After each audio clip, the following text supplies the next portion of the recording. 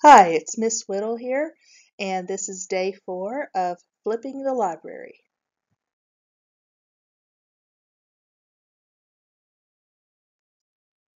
In this lesson, we'll explore some of the other World Book resources and look at how useful they can be to kids and adults. Okay, so one more time, we're going to go to the Tennessee Electronic Library by typing in tntel dot info.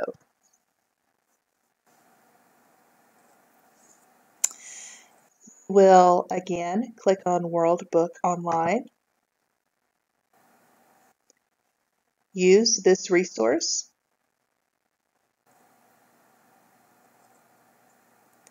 And we've already looked at early learning and kids.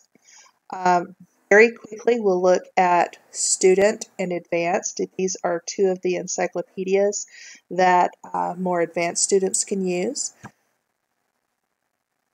It's very straightforward. Uh, you'll notice that it's not as visual. There's going to be a lot more reading here.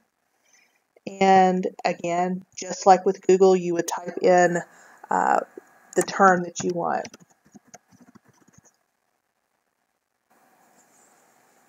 So we can read more about the American Civil War.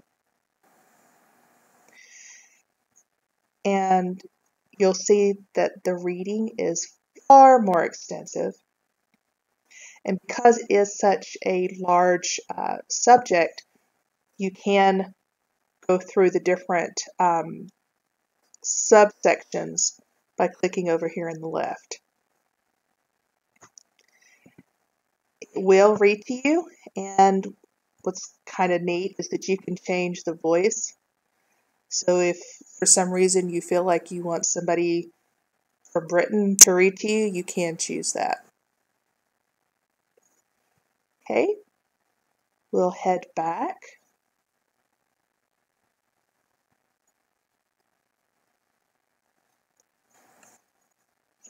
Advanced is uh, generally the same. It's just going to have a lot more reading involved.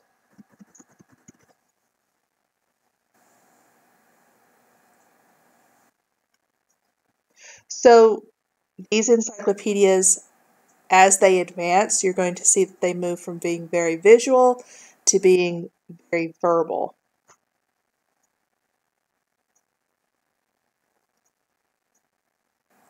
What I find interesting is that even in the advanced section, it will still read to you. Okay. And I will just let you play with those if uh, those are levels that would be interesting to you. The timelines section.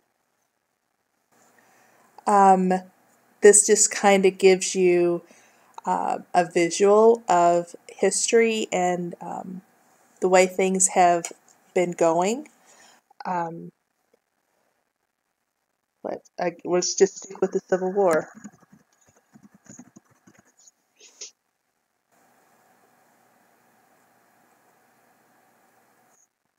Okay, World makes these timelines. Um, if you log in, you can add to the timelines or create your own, and it will save it in your account.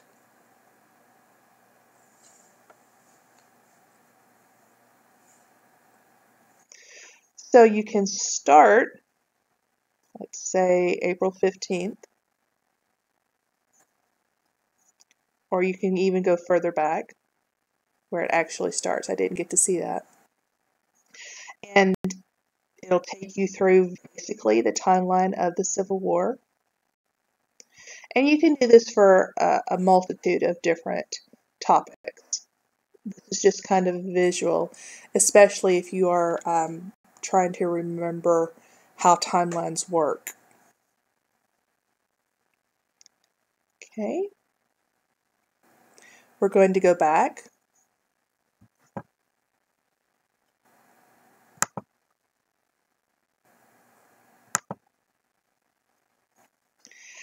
The next section is the World Book eBooks.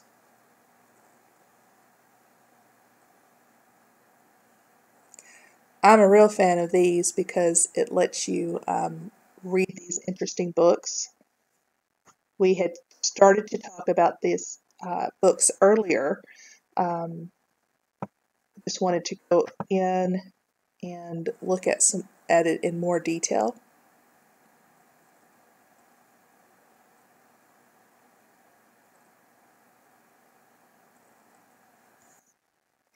Remember, for some reason it started in the middle of the book, so we'll go back to the cover and move from there. We click the arrow to go to the next page. And if you are um, trying to search within a book or maybe making notes within the book, let's say that you're trying to do some research, you can highlight some of these um, areas for you to be able to go back and remember where those are. Okay. If you need to zoom in because it's a little too small, you can. It'll bring up um, this bar for you to be able to um, see things. Okay. You can play around with how the page appears. I'm going to go back home.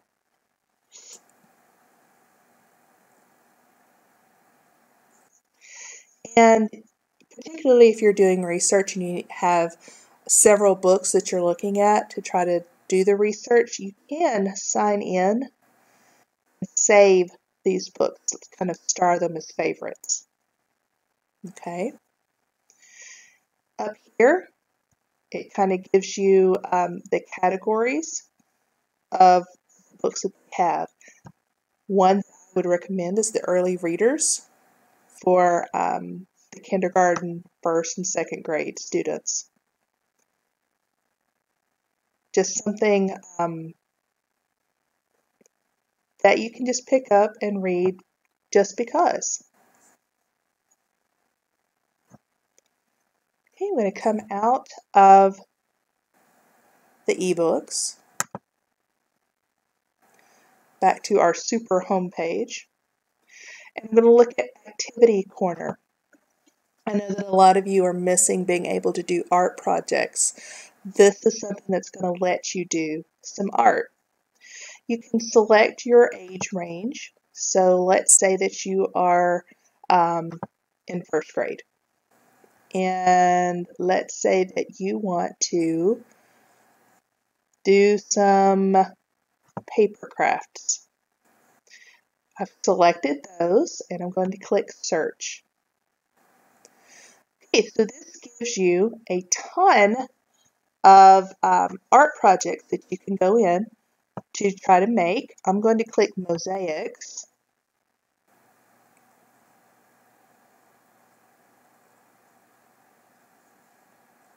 It tells you what a mosaic is. It gives you the things that you're going to need. And then it gives you some directions on how to do that.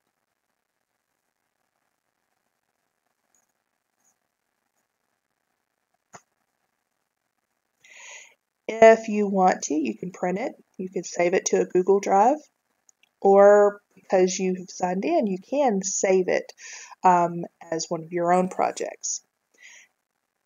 Now you'll be able to um, search on your own age range or just search for something you want to do.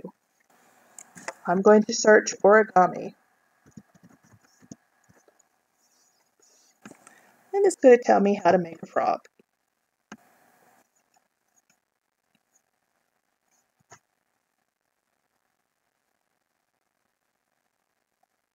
So that would be something fun to try. Okay. Now, I have been hitting the back button a lot. Some of these pages will let you um, search between the products at the bottom of the page. So right now we're on Activity Corner. We've already looked at Advanced. Discover is sort of a middle school thing that I'll let you uh, look at on your own. The next one I want to look at is Dramatic Learning.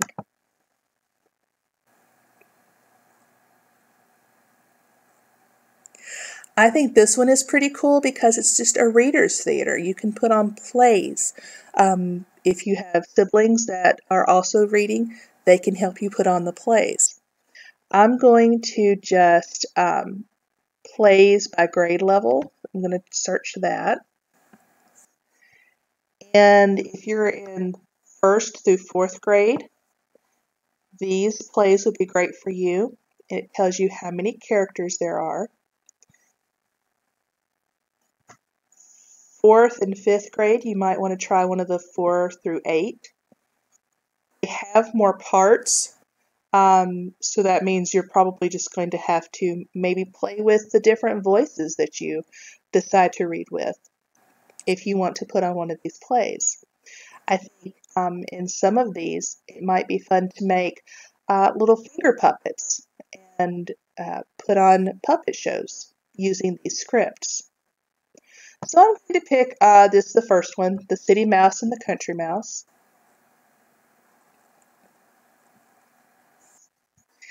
And uh, this is where uh, it comes in handy for parents. It has some lesson plans to go along with the play.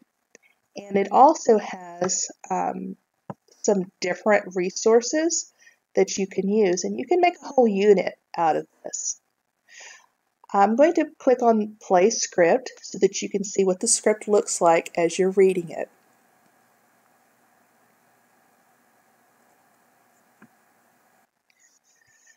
So right now you would just be reading it on the screen and it has the different parts, the country mouse and the city mouse. I think that might be a little difficult for you to do, so you can also print out this script and use it as you're putting on your play. Okay, I'm going to go to the bottom and see if we can get out of that. Yes, we can. Now, there are also um, different uh, encyclopedias for different languages. For example, this one looks like it might be in Spanish, in French, uh, Kids eLearn looks like it's in Arabic when you go to that. So um, if those would be uh, something that you would need, I'm really glad that they have these encyclopedias in different languages. I'm going to click on Science Power now. And again, these are all things that you can find when you go to that super homepage for World Book. You don't necessarily have to get it from the bottom of each of these.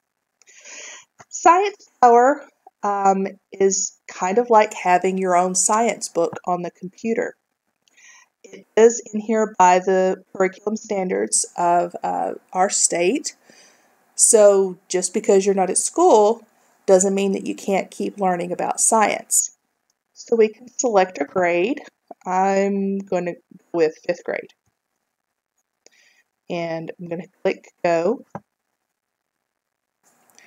and it's going to work on the different standards that you would need to know in the fifth grade. So the first one that has materials uh, with the standard, I'm going to click on the link. And it looks like uh, this is about uh, physical science. Uh, we can start with changes in matter. And it has the whole lesson already there for you.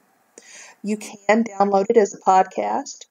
Um, you can look in t- different textbooks. We're going to go with, we're just going to start the lesson. It gives us some vocabulary.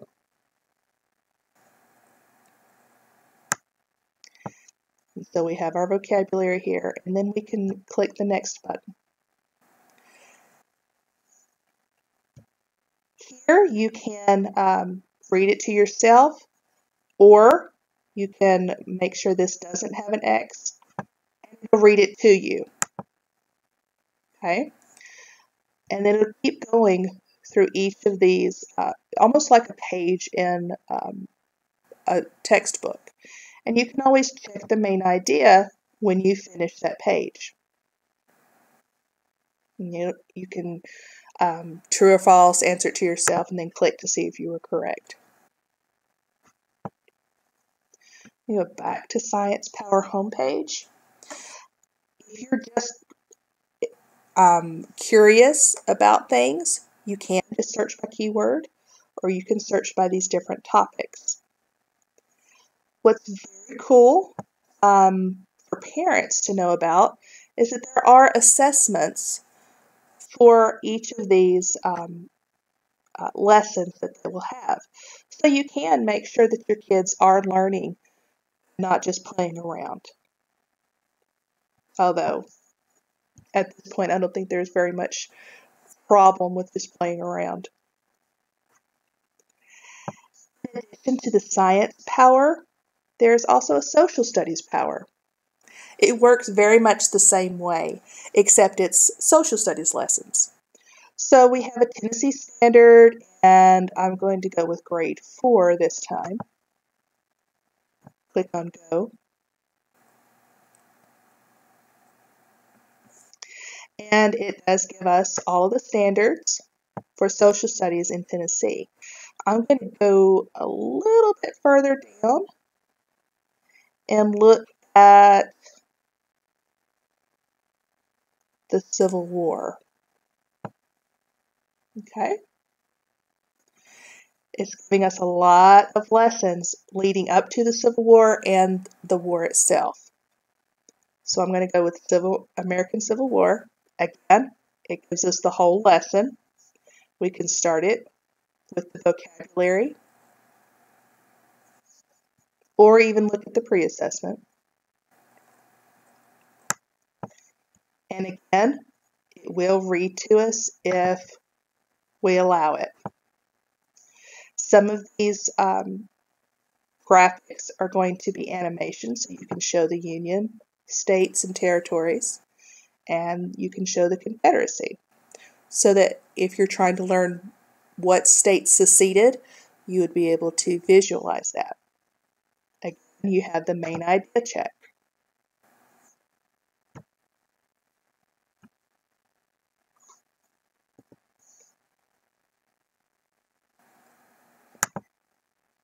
And again, you can just look at the topics that are available or search by keyword. And there are assessments in this uh, resource. Okay, so I'm going to show you what these look like on the home page. Dramatic learning, uh, encyclopedias that are in different languages, science or and social studies power. I hope that these are great resources for you to use and play around with and investigate further as uh, you work at home to try to learn more things. I'll see you next time.